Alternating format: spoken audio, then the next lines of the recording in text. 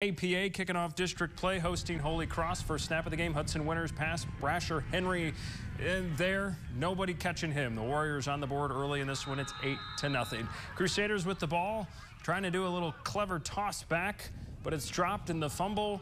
Recovered by Chandler Freeman near the 50-yard line. A few plays later, winner sending this one high into the sky. A perfect catch. Sam Lashaway Another eight points on the board for the Warriors. Fourth down, Crusaders defense putting heavy pressure on the Warriors. Henry's going airborne again. The Hail Mary complete to Freeman down for the touchdown.